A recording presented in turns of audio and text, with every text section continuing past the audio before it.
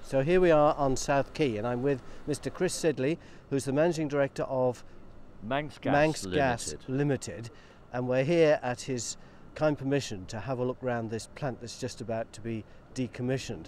Now, Mr. Sidley, this isn't that old, is it?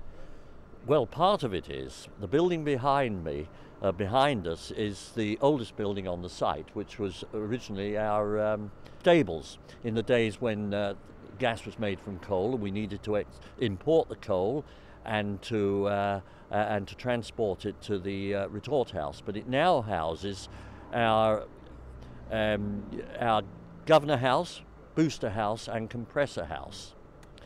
But you're right that a lot of the plant is modern, and uh, the uh, high pressure mixing plant was constructed in 1995 to meet increasing demand.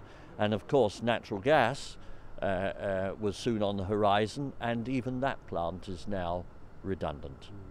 So, what buildings are we looking at just here now? There's three pipes coming out of this old brick building. Well, two pipes, the two larger ones, are the low pressure gas from the Venturi mixing plant, as we call it, uh, via the station governors that are immediately behind. The smaller pipe is the high pressure pipe, uh, also from the Venturi mixing plant. This was decommissioned quite recently.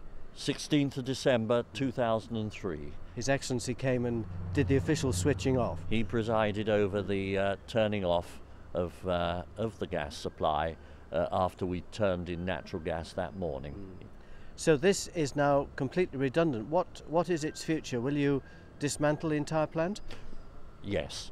At the moment, we are purging it free of gas. We've, we've exported all the liquid back to the uh, outer harbour uh, handling plant.